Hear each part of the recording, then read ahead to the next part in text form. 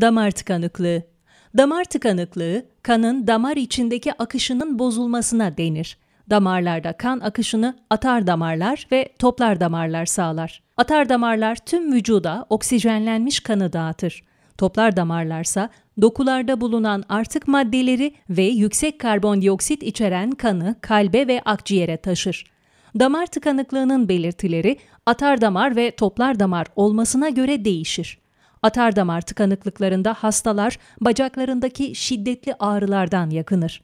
Toplar damar tıkanıklıklarında en büyük tehlike pulmoner emboli riskidir. Pulmoner emboli, vücudun herhangi bir yerinde oluşan pıhtının koparak toplar damar yoluyla akciğerlere gitmesidir. Pulmoner embolinin belirtisi şiddetli nefes darlığıdır. Damar tıkanıklıklarından korunmak için beslenme şekline dikkat edilmesi önemlidir.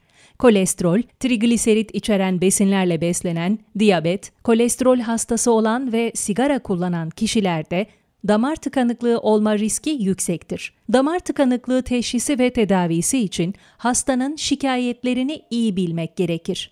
Damar tıkanıklığı hem ilaçlı hem de cerrahi yöntemle tedavi edilebilir. İlerlemiş olmayan tıkanıklıklarda ilaç tedavisi uygulanır. Hastanın şikayetlerinin devam ettiği durumlarda cerrahi yöntemle tedavi yapılır. Bu tedavi yöntemleri dışında hastanın risk faktörlerinin gözlem altına alınması önemlidir. Sigara bırakılmalı ve kan yağları kontrol altına alınmalıdır. Hastanın yaşam tarzını değiştirmesi, diyet ve egzersize başlaması da önemli tedavi yöntemlerindendir.